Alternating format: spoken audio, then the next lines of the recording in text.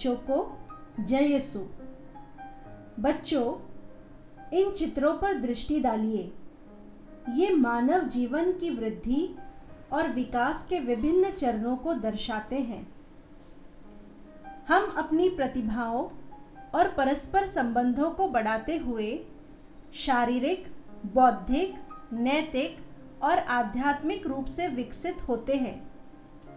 अतः माता पिता भाई बहन दोस्त, गुरुजन, पुरोहित, धर्म भाई बहन तथा हमारे पूज्य बुज़ुर्ग जन हमारे विकास में हमारा सहयोग करते हैं, क्योंकि वे हमें प्यार करते हैं। इन सबसे बढ़कर एक और व्यक्ति है, जो हमें सबसे अधिक प्यार करता है और हमारे समग्र विकास में मदद करता है। वह व्यक्ति है ईश्वर। माता की कोख में गर्भ धारण के समय से ही ईश्वर सदा हमारे साथ है। वह सत्य मार्ग की ओर हमारी अगुवाई करता है। हमें बुराई से बचाता है और हमारे दुखों में हमें सांत्वना देता है। ईश्वर के साथ हमारा अटूट संबंध है और यह सदा बना रहता है। जीवन की परिपूर्णता प्राप्त करने तथा अनवरत विकास की ओर उन्मुख होने के लिए ईश्वर ने हमें अनेक विशेष वरदान दिए हैं। ईश्वर प्रदत्त इन्हीं कृपादानों को संस्कार कहते हैं। आज हम संस्कार के बारे में पढ़ने जा रहे हैं। सर्वप्रथम हम बपतिस्मा संस्कार के बारे में जानकारी ग्रहण करेंगे। संस्कार प्रभु येसु द्वारा मानव को प्रदत्त सर्वोत्तम उपहार है। आकाश में काले बादल वर्षा होने के चिन्ह है, किंतु काले बादल वर्षा के चिन्ह ही नहीं, परंतु अपने अंदर वर्षा भी लिए रहते हैं। इसी तरह संस्कार भी मात्र ईश कृपा के चिन्ह ही नहीं, बल्कि अपने अंदर ईश कृपा को भी लिए रहते हैं। प्रभु येसु ने सात संस्कारों की स्थापना की है, जिससे हम ईश प्रेम और उसके साथ संबंध में जिए और उसमें विकास करें। ये संस्कार इस प्रकार है। स्नान अथवा बपतिस्मा संस्कार, दृढ़ीकरण संस्कार, पवित्र युक्रिस्तीय अथवा परमप्रसाद संस्कार, पाप स्वीकार संस्कार, रोगी विलेपन संस्कार पुरोहिताभिषेक संस्कार और विवाह संस्कार। संस्कार सामुदायिक समारोह है। ईश्वर मनुष्य को मात्र एक व्यक्ति के रूप में ही नहीं, बल्कि संपूर्ण समुदाय को मुक्ति देना चाहता है। इसलिए उसने संस्कारों के अनुष्ठानों को सामुदायिक समारोह का रूप दिया। संस्कारों के समारोह में ईश्वर की प्रजा एक परिवार के रूप में एकत्र होती है। संस्कारों के समारोह को वे एक समुदाय के रूप में मनाते हैं। संस्कारों के समारोह उन्हें एक समुदाय के रूप में जीने और बढ़ने में सहायक बनते हैं। संस्कार, प्रेम, एकता, उदारता और न्याय आदि क्रिस्तीय मूल्यों के अनुरूप जीने तथा उन मूल्यों के आधार पर एक समृद्ध समाज के निर्माण में ईश प्रजा की सहायता करते हैं। इसलिए प्रत्येक संस्कार एक सामुदायिक समारोह होता है। जल स्नान संस्कार का आवश्यक तत्व है। इसका हमारे जीवन में भी बड़ा महत्व है। हम पीने के लिए, शुद्धि के लिए और अन्य दैनिक कार्यों में इसका प्रयोग करते हैं। जीव जंतु और वनस्पति के लिए भी जल अत्यंत आवश्यक है। सृष्टि के आरंभ से ही जल जीवन का स्रोत रहा है। ईश्वर ने अपने मुक्ति विधान में जल को अपनी कृपाओं तथा नवजीवन का एक प्रभावशाली प्रतीक बनाया है।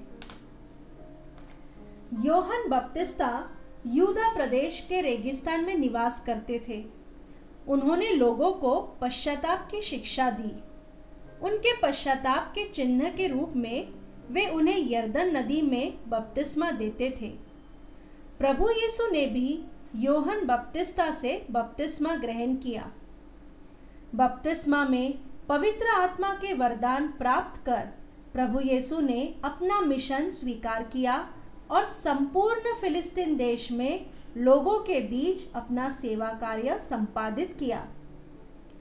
प्रभु यीशु ने अपने पुनरुत्थान के बाद अपने शिष्यों को यह आदेश दिया, तुम लोग जाकर सब राष्ट्रों को शिष्य बनाओ और उन्हें पिता, पुत्र और पवित्र आत्मा के नाम पर बपतिस्मा दो।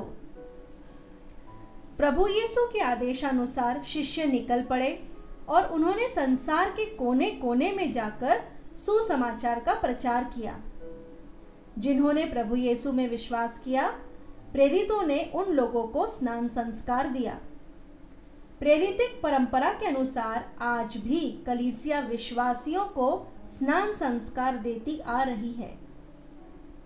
स्नान संस्कार के समय पुरोहित स्नान संस्कार लेने वाले व्यक्ति के सर पर पानी उंडेलते हुए उसका नाम लेकर इन शब्दों का उच्चारण करते हैं।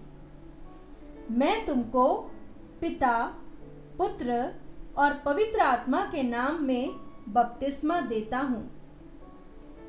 स्नान संस्कार के फल।